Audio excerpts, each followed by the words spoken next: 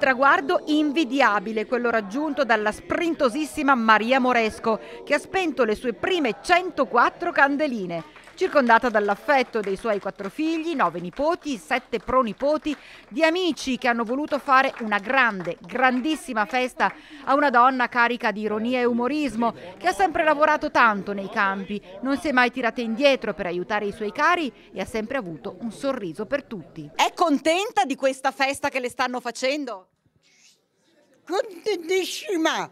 Se l'aspettava? Non credevo neanche a tutta questa gente qua che mi vuole bene. 104 anni però sono, sono tanti, eh, sono tanti. Ah, non li sento neanche. Un giorno alla volta. Ah, beh, due non ti può mica fare